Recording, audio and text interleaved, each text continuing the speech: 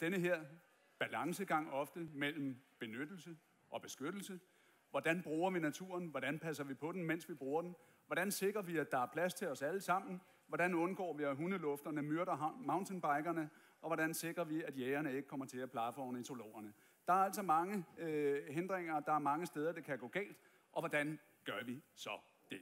Og det øh, har jeg inviteret tre gode mennesker, som, øh, som, som hver især ved noget om naturen, hver især har haft naturen og har naturen øh, tæt på på, øh, på forskellige måder, øh, ind for at, øh, at drøfte sammen med mig. Øh, først og fremmest, så øh, skal man jo byde øh, velkommen og til, til præsidenten, øh, præsident Maria Rømer Gjerding fra Danmarks Naturfredningsforening, nyvalgt øh, præsident. Velkommen til dig. Tak. tak.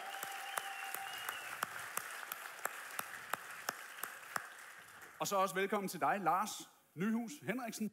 Du øh, har været meget, meget alene i øh, naturen. Det har jeg og andre kunnet følge på, øh, på tv i, øh, i det øh, tv-program, der hedder Alene i Vildmarken. Hvor mange dage blev det til sådan alt i alt? Det blev 28 dage. Ja, og du vidste ikke, de andre var taget hjem efter en uge. nej, nej, nej, nej. Det, det kunne det simpelthen godt have fortalt dig. Nå, men det, øh, det er i hvert fald noget om, hvordan man også kan bruge naturen, hvordan man kan spise naturen.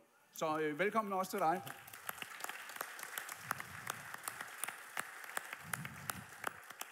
Og øh, så en mand, der forstår at, øh, at kombinere den øverste trin på troværdighedsskalaen med det næsten nederste trin på troværdighedsskalaen. Det nederste, det står jeg for.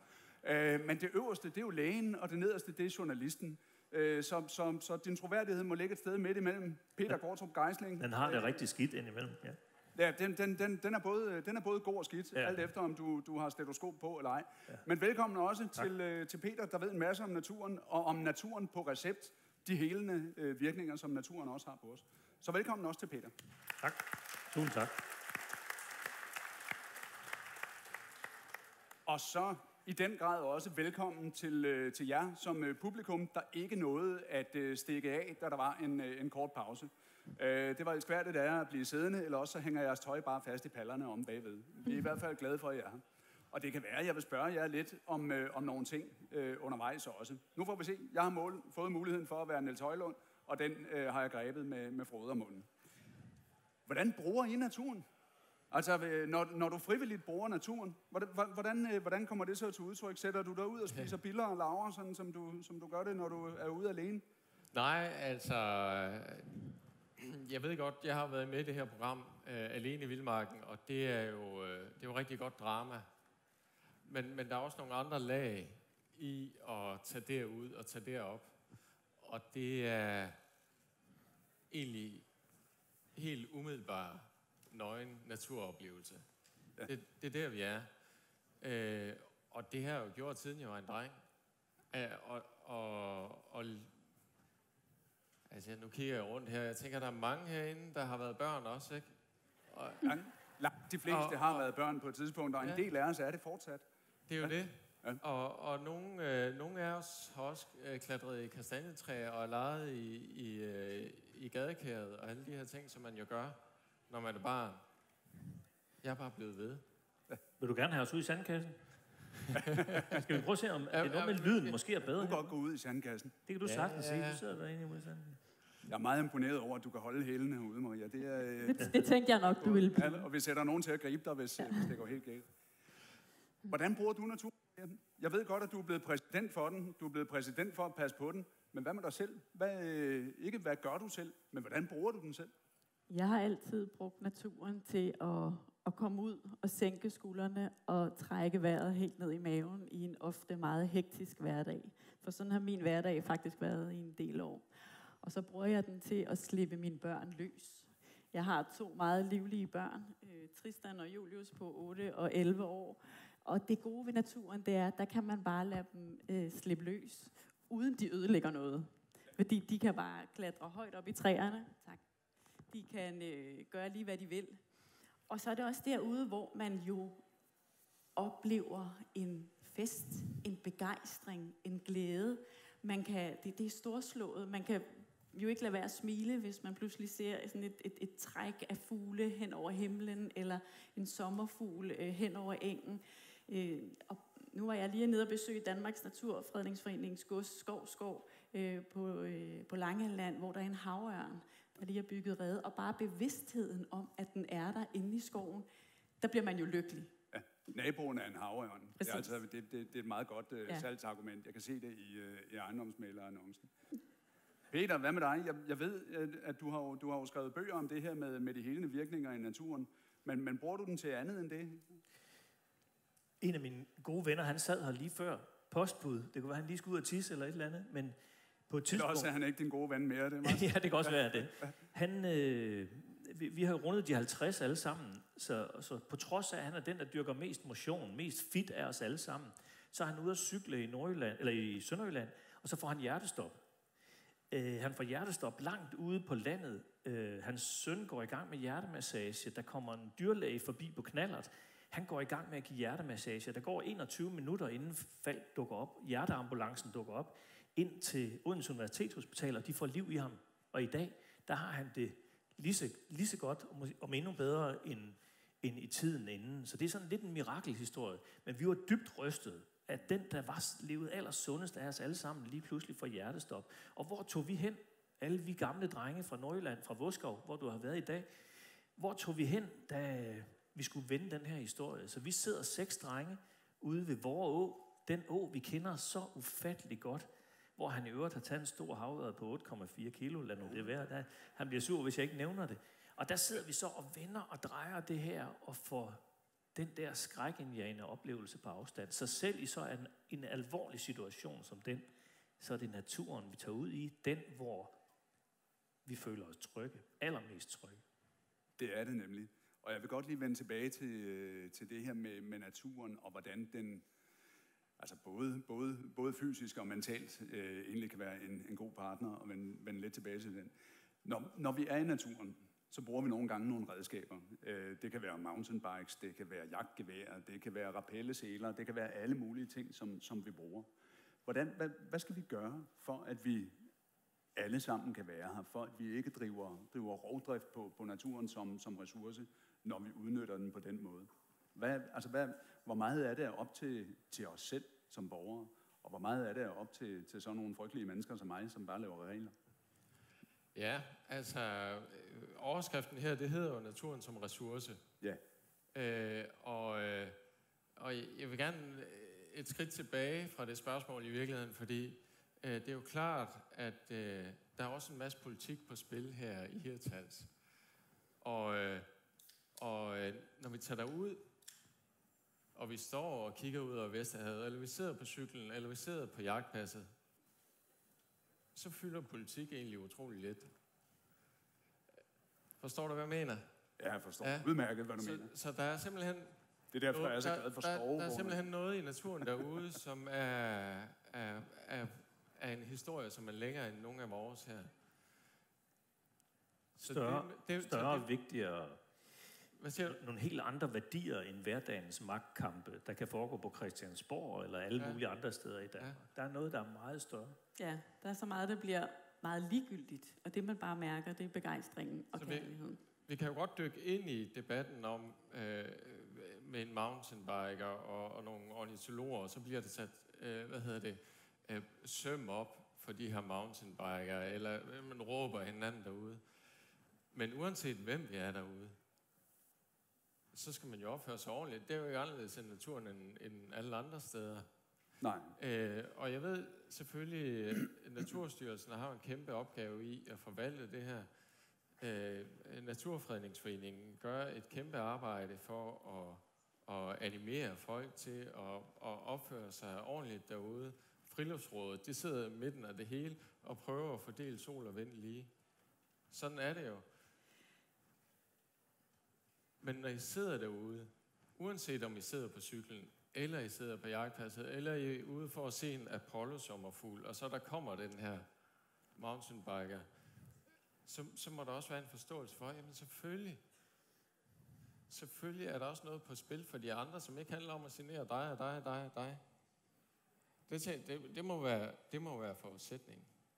det er en god forudsætning Ja. Den der med, at der er sådan set plads til, at vi kan være der alle sammen. Hvis vi lige tager lidt hensyn hver især. Men spørgsmålet er, om der er plads nok. til, at vi alle sammen kan være der. Se, nu nærmer vi os nu. Ja, ikke? Fordi det er der jo ikke. Der skal jo selvfølgelig både være plads til mountainbikeren og til ornitologen. Der skal også være plads til den havørnerede, der har brug for fred. Der skal også være plads til, at, at, vi, at vi bremser tilbagegang i arterne og vender den til fremgang. Så i virkeligheden, så tror jeg, at vi skal arbejde sammen om at, at give naturen mere plads, både til alle de mennesker, der skal ud og opleve den, men også til naturen selv, at den kan få lov ikke bare at være en ressource for os, men bare at få lov til at være natur for sig selv. Ja, for det er jo en del af forudsætningen for, at ja, det synes jeg egentlig godt, vi kan give en hånd. Fordi det er jo en del af, af forudsætningen for, at der også er noget natur, vi kan færdes i. Det er jo sådan set, at der er en del af naturen, vi lader være med at færdes i. En del af naturen, der får lov til bare at være natur og være lidt urørt.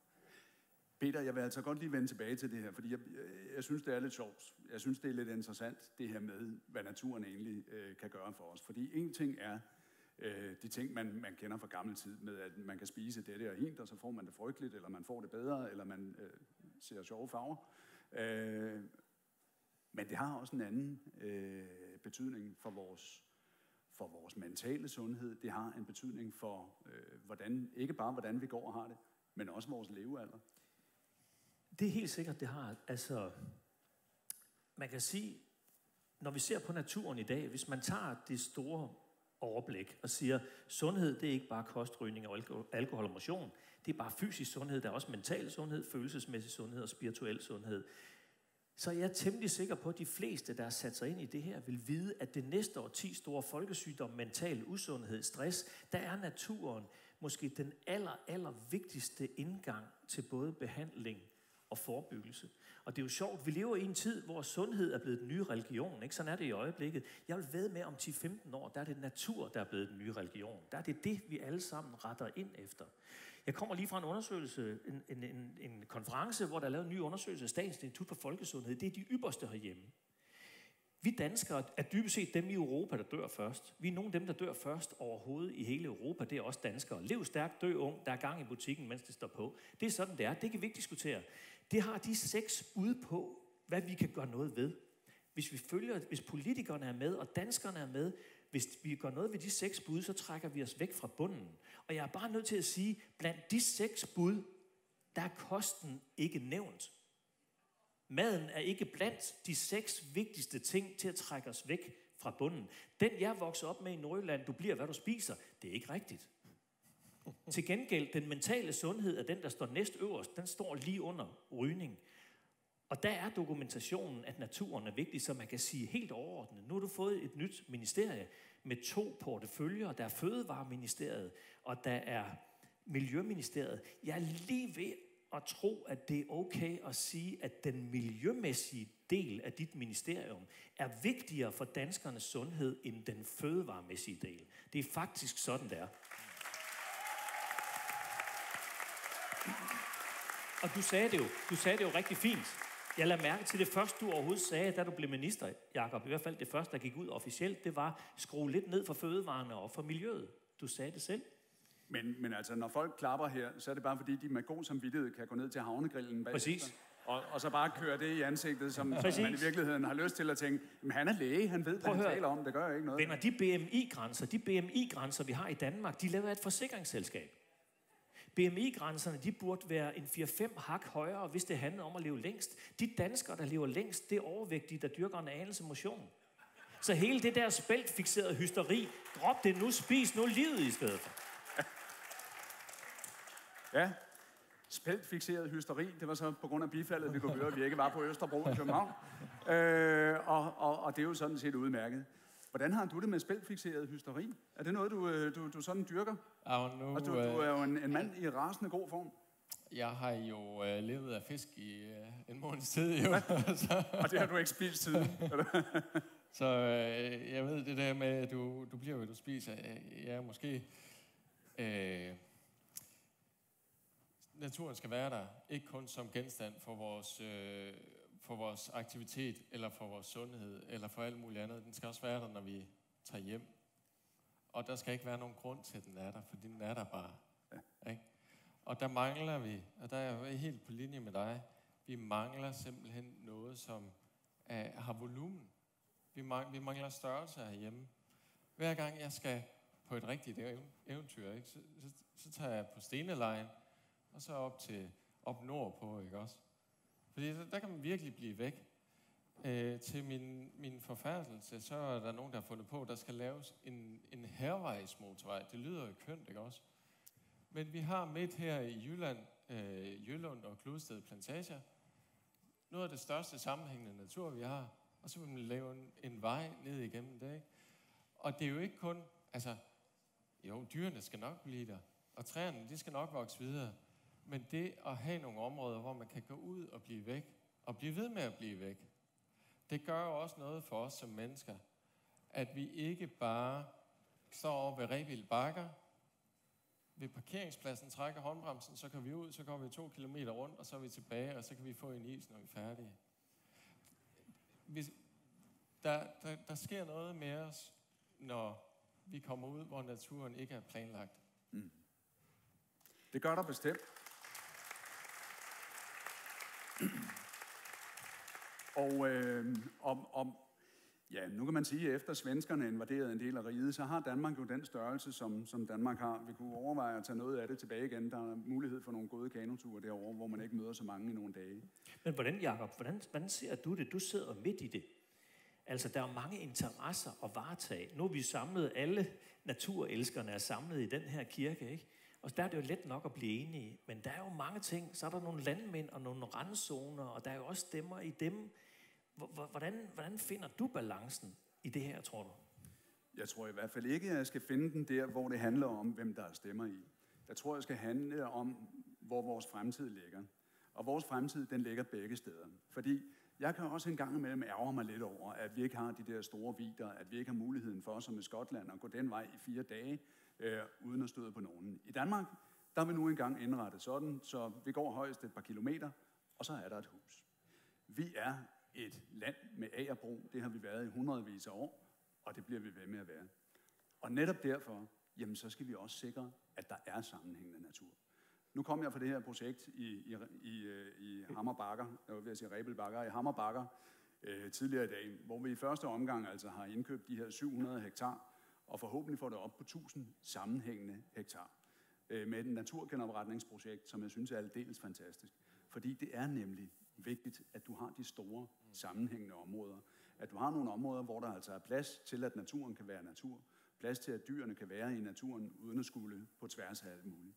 Så jeg synes, at, at denne her balance med ikke at gøre enhver kornmark til en slagmark, den er den anden vigtige del af det. Fordi tror... hvis, man tror, hvis man tror, at vi kan have enten et grønt eller et brunt Danmark, så tager man fejl. Vi lever af begge dele, og det skal vi. Mm. Men jeg tror egentlig, at ikke at der er nogen, der er uenige i den balance. Problemet er jo, at balancen er tippet. Mm. Balancen er helt klart tippet i en retning, og naturen har været de store tabere i rigtig mange år. Og jeg er meget enig i det her. Vi er nødt til at få naturen tæt på mange flere mennesker, ved der kommer mere af den. Vi har lige lavet en undersøgelse, der viser, at børn er halvt så meget ude i naturen som deres bedsteforældre. Det skal bekymre os dybt, for vi ved, hvor meget børn har brug for naturen, hvor vigtig naturen er for børns udvikling. Det er den ene ting, der skal bekymre os. Men det skal også bekymre os, at arter er i tilbagegang i Danmark. At vi mister noget, der er erstatteligt, uerstatteligt. Vi kan ikke leve med, at vilde bier bliver udryddet, at sommerfugle bliver udryddet, at antallet af fugle i det åbne land er halveret. Det kan vi ikke leve med. Og der har vi jo en fælles opgave i at forvente den udvikling. Og det kan vi ikke, uden at naturen får mere plads. Uden at naturen får de store sammenhængende områder. Uden at vi sætter fokus på denne her overskrift, der hedder natur for ressource. Fordi der er vi selv i centrum. Vi har jo, det er jo lykkedes os at kigge på hver eneste kvadratmeter i det her land og tænke, hvad kan vi få ud af det? Og noget er blevet byer, og noget er blevet veje, og noget er blevet skovbrug, og noget er blevet landbrug, og så er der havets fisk, der bliver fisket i stor stil. Vi bliver nødt til at vende det om og sige, der skal være plads til det unyttige, til det, der ikke har nogen nytteværdi for os mennesker. Der skal være plads til alene det, at naturens arter kan trives, for så trives vi også i den. Men Maria, må jeg ikke sige en ting? Det er selvfølgelig rigtigt, og du kigger på Jakob som, som øh, minister, ikke? inden for stressbehandling snakker vi om IGLO-modellen. Ikke? Altså, der skal, den, den enkelte har selv et ansvar, familien har et ansvar, ens arbejdsgiver har et ansvar, og politikeren har et ansvar. Er det ikke også lidt en IGLO-model, vi har gang i her? For jeg tænker, jeg har også set din undersøgelse, at børn er halvt så meget ude i naturen, som jeg var, da jeg var dreng. Men det er vel også forældrenes ansvar? Det altså, er den værste, ansvar. den værste faktor, det er iPad. Ja. Ja. Helt Men- klart. I, er også i gamle dage, der øh, smed man måske børnene udenfor, når man havde brug for lidt ro som forældre. Ikke? I dag stikker man dem med iPad og siger, kan I, lige, øh, I må lige spille en time. Ikke? Så der alle har et ansvar her. Men jeg mener også, vi har et ansvar for at sørge for, at naturen er tættere på flere mennesker. Og netop den natur, der er ikke bare en lille park, men som faktisk er noget, man har mulighed for at gå ud i, at blive væk i, at gå i i lang tid. Altså faktisk at, at fare vildt. Og du kan sige, altså, jeg, jeg vil godt lige, øh, jeg vil sige, da jeg var dreng, der var vi altså ude i naturen. Vi var meget ude i naturen, og vi kom tilbage med skrammer over det hele, og med myggestik, og øh, vi havde haft det alle tiders. Mobiltelefoner er en god ting for mange ting. Men hold nu fast, hvor er det også en skidt ting. Fordi en af fordelene dengang, det var, vores forældre, de kunne ikke få fat i os. Så de kunne ikke sige, at vi skulle komme hjem. Og det betød, at vi blev derude, og vi byggede små dæmninger nede i åerne, og vi byggede broer hen over dem, og vi klatrede i træer, og vi slog os, og, og øh, dog så øh, overlevede vi øh, og kom videre. Øh, så ja, der skal være plads til, at vi har naturen. Som forældre, der skal vi huske at sparke vores børn ud i den en gang imellem, og slukke deres telefon, inden vi gør det, også så vi ikke kan få fat i dem og ikke kan holde øje med dem, for de skal nok klare sig, og de passer på hinanden. Øhm, for den mulighed, den skal vi have. Vi skal sørge for at tage vare på den ressource, så den er der for os alle sammen. Og jeg har lige fået at vide, at der er et minut tilbage, så jeg skal begynde at runde af.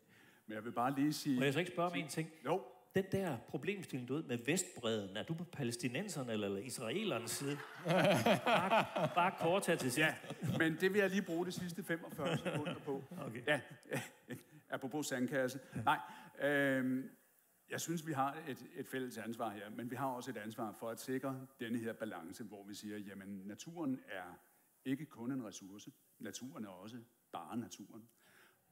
Men vi har også et ansvar for, at vi får mad på bordet, både i direkte forstand og i overført betydning. Og den balance, den skal jeg bruge de næste mange år som Miljø- og Fødevareminister på at, at holde Genoprette på at holde, og, og, det, og det har jeg tænkt mig at blive ved med. Så tak fordi I kom, og tak til jer tre for, øh, for debatten. Det var hyggeligt at se jer. Og god arbejdsløst med projektet. Jo, tak. Og tusind tak til jer,